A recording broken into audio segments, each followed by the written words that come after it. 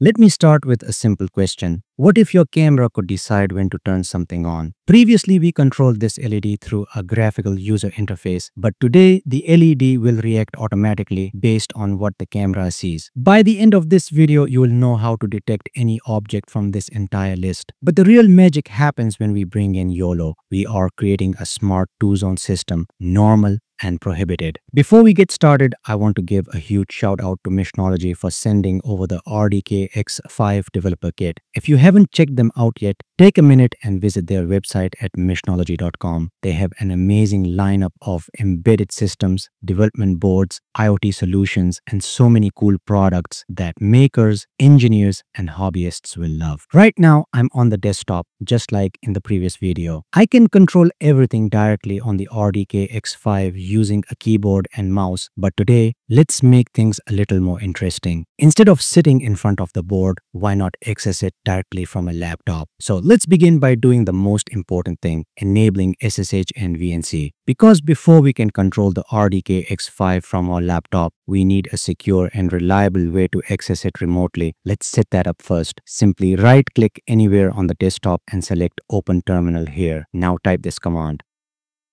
Go to interface options and here you have three choices. You can enable only SSH which gives you remote command line access or you can enable only VNC which gives you a full graphical desktop remotely or my personal recommendation you can enable both. I have both enabled for a reason. When you are using VNC you can control the desktop just like you are sitting in front of the RDK X5 but you can't directly download files or folders from the device to your laptop Maybe there's some hidden workaround, I am not sure, but I haven't found one that works smoothly. And that's exactly where SSH becomes incredibly powerful.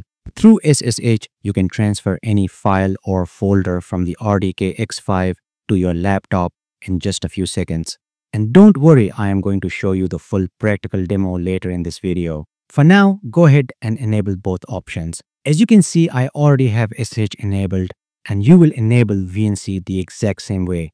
And with that, we are done with the RDK X5 side of the setup. Now, on the laptop side, head over to the official MobaXterm website and download the portable edition of the software. It's lightweight, it runs without installation, and it gives you everything you need.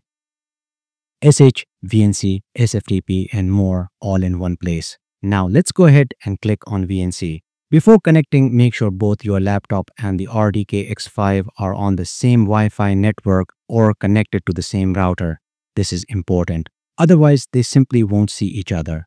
Next, you will need the IP address of your RDK X5. If you don't already know it, don't worry. There's an easy way to find it. Just open the command prompt on your laptop and type. This command will show you a list of all the devices currently connected to your network along with their IP addresses. Look through the list, find the one that matches your RDKX5 and that's the address you need. Simply enter that IP address into the VNC window and press enter.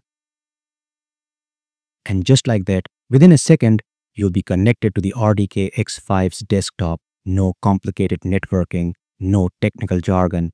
It just works.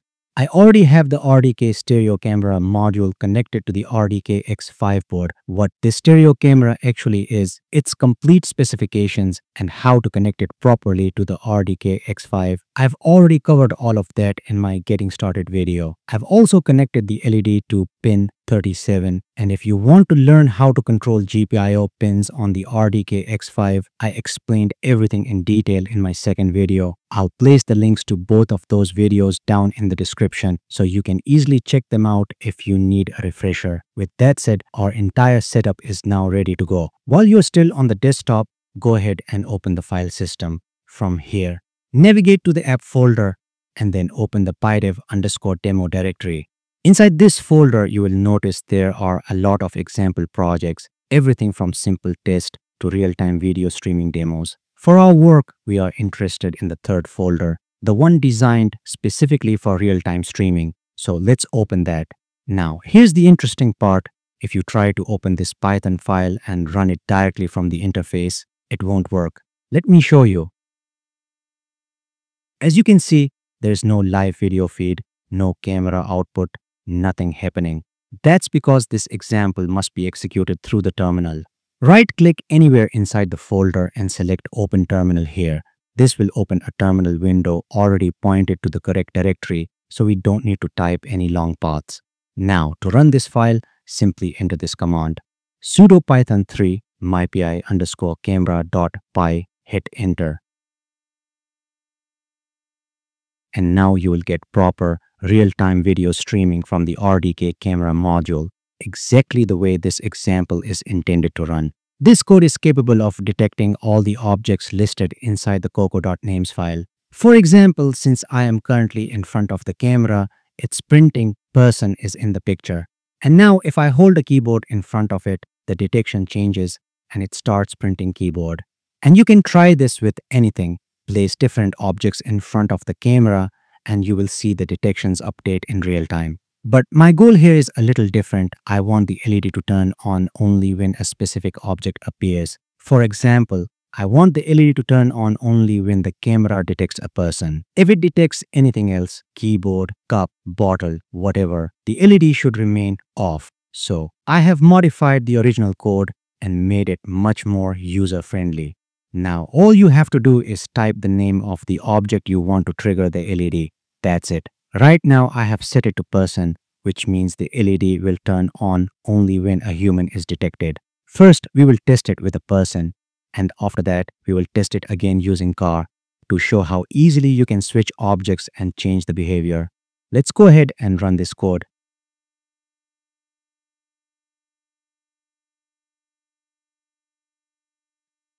As you can see, the LED is currently off because there is no one in front of the camera.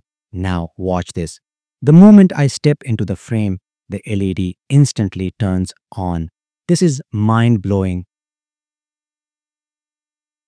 Real-time object detection, controlling physical hardware, all happening directly on the RDK X5. Now, let's take it one step further and test it with car. I have changed the target object from person to car and look at this. Even though I am right here in the frame, the LED does not turn on anymore. It will only turn on when the camera detects a car. This level of precision is absolutely amazing. And that's not all. I have written several more examples that you can try out yourself. All these additional codes are available on my Patreon and you will find the link in the description below. You will also find multiple YOLO related samples inside the RDK X5. Open the sixth folder this example detects objects inside a static image called kite.jpg. When I ran the script, it produced this output image and just look at the accuracy. YOLO v3 has identified all the objects with impressive confidence. Now, if you have followed my earlier work, you will remember that I once used YOLO v3 with the ESP32 camera module. And on top of that, I built a complete virtual laser security system using Python, OpenCV, and MediaPipe pose landmarks. MediaPipe gives you 33 highly highly accurate body landmarks and by tracking even a single one like landmark 31 which we used last time, I was able to detect when someone crossed a line or entered a restricted zone with insane accuracy. And now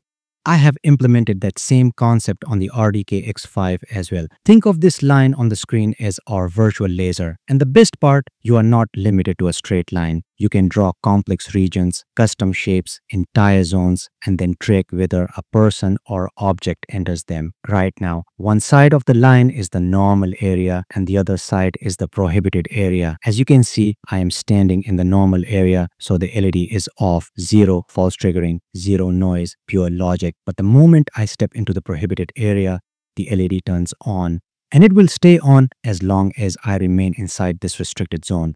The moment I step back into the normal area, the LED switches off again. This is exactly how virtual security systems should behave, precise, reliable, and fully customizable. So that's all for now. Support me on Patreon for more videos. I hope you liked today's episode. Like and share this video with your friends. See you in next episode and thanks for watching.